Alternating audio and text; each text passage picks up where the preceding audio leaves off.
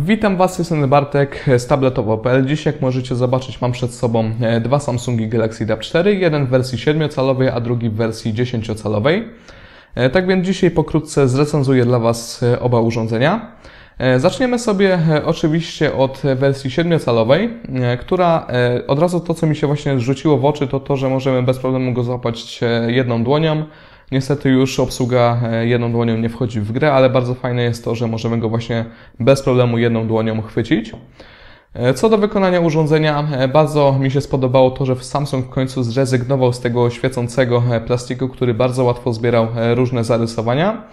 Na szczęście tutaj mamy taki miły w dotyku chropowaty plastik, który co ważne nie zbiera zarysowań ani jakichkolwiek zabrudzeń. E, co do ramki urządzenia też mi się bardzo spodobało to, że Samsung e, zrezygnował z tej ramki plastikowej, która nachodzi na całą krawędź urządzenia. Mamy ją jedynie tutaj właśnie dookoła ekranu, a same krawędzie są już wykonane z bardzo miłego w dotyku e, plastiku. Co ważne, przyciski funkcyjne są bardzo, bardzo fajnie spasowane, nic tutaj nie trzeszczy, nic tutaj nie lata. Sama obudowa również jest bardzo zwarta i także nie trzeszczy.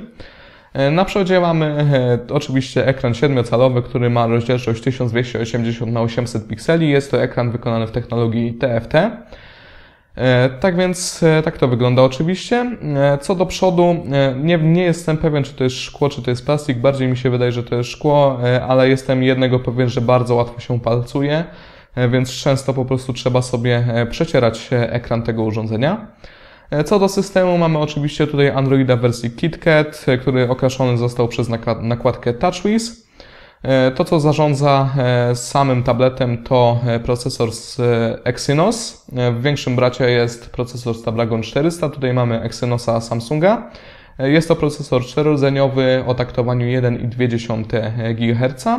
E, który jest wspierany przez 1,5 GB pamięci RAM, który moim zdaniem ta ilość jest właśnie zupełnie wystarczająca do w miarę płynnej obsługi. Wiadomo, że jest to touchwiz i czasami tutaj się zdarzają różne przycinki e, i tego niestety nie możemy tutaj e, ująć tej nakładce. To, co mi się podoba, to funkcjonalność oczywiście. Mamy tutaj znane z, z innych tabletów Samsunga czy smartfonów multi-window, dzięki któremu możemy odpalić sobie kilka aplikacji na jednym ekranie. E, co, to, co mnie denerwowało, to brak automatycznej jasności. Nie mamy tutaj właśnie czujnika e, tego pomiaru światła, więc nie mamy tutaj niestety automatycznej jasności. No i niestety oba taby 4 zostały niestety, niestety troszeczkę wykastrowane z tych różnych e, mniej lub bardziej przydatnych funkcji nakładki TouchWiz i według mnie tą najważniejszą tutaj, którą na szczęście Samsung zdecydował się tutaj dodać, to właśnie multi-window. Jeszcze wrócę na chwilę do ekranu. E, co do jego kolorów, ma bardzo fajne właśnie odzorowanie tych kolorów jak na ekran TFT. E, kąty widzenia również stoją na bardzo wysokim poziomie, więc to jest też e, bardzo fajne. Co do aparatu, który został umieszczony na tyle, ma on 3 megapiksele i to, co mnie najbardziej w nim irytuje, to brak autofokusa. No to już mówi samo za siebie. Niestety żadnych fajnych fotek tym tabletem nie zrobimy, więc aparat jest po prostu tragiczny według mnie. E, tak więc tak się prezentuje urządzenie 7-calowe. E, tak więc teraz przejdźmy sobie do 10-calowca, który jest wykonany w bardzo podobny sposób. E, I to, co mi się też podoba tutaj, to zaokrąglone bardziej tutaj krawędzie po bokach, dzięki czemu chwyt urządzenia jest troszeczkę lepszy. Wykonanie ramki tyłu jest takie samo, przód też niestety bardzo się palcuje. E, no i tutaj mamy ekran 10-calowy, który ma e, rozdzielczość 1280 na 800 e, pikseli. Tak więc niestety do 10-calowego ekranu jest to według mnie zbyt mała rozdzielczość i oferuje zbyt małe zagęszczenie pikseli, bodajże 149 pikseli na cal. No i niestety nie musimy tutaj długo się doszukiwać różnych pikseli, nawet e, te widgety, które mam teraz e, ustawione, e, przy próbie właśnie przerzucenia ekranu, one jakby tak się ucinają, przycinają w różnych miejscach i to niestety nie wygląda za dobrze. Co do płynności działania, tak jak Wam mówiłem, mamy tutaj czterodzeniowy procesor Snapdragon 400 o taktowaniu 1,2 GHz, czyli tak samo jak w wersji 7-calowej.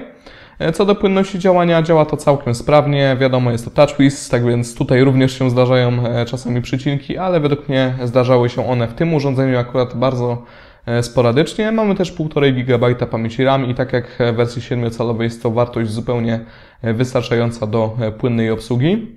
E, Co do aparatu, e, mamy tutaj ten sam moduł, czyli 3 megapiksele, również bez autofokusa i niestety to jest dla mnie po prostu e, tragedia, ten aparat i niestety nic z tym nie możemy zrobić. No wiadomo, tablety nie służą do, do robienia zdjęć, ale fajnie by było zobaczyć tutaj chociaż te 5 megapikseli wraz z autofokusem, jakąś diodą doświetlającą. E, Tak więc e, tak to wygląda. Generalnie z tych urządzeń mi się korzystało bardzo przyjemnie. E, A dlaczego? Dlatego, że mm, były one całkiem płynne i chyba to są pierwsze te taby z średniej półki, jakie oferowały właśnie taką fajną płynność. Tak więc to muszę uznać za zaletę. Niestety cena urządzeń Rynkowa cena e, tego 10-calowego Taba 4 to z tego co patrzyłem 1349 zł. Jest to niestety według mnie e, cena zbyt du- duża jak na urządzenie jakie otrzymujemy. E, A 7-calowego urządzenia cena wynosi 999 zł, ale widziałem już egzemplarze tańsze i mniej więcej za e, 700-800 zł możemy kupić nowe urządzenie właśnie Taba 4 7-calowego i moim zdaniem już taka kwota jest w miarę uczciwa jak za e, takie urządzenie. Myślę, że w tej recenzji to chyba będzie na tyle. Jak zawsze zachęcam Was do przeczytania pełnej recenzji tych urządzeń, e, która e, będzie oczywiście na portalu tabletowo.pl. Ja się tymczasem z Wami żegnam. Pozdrawiam Was. Na razie.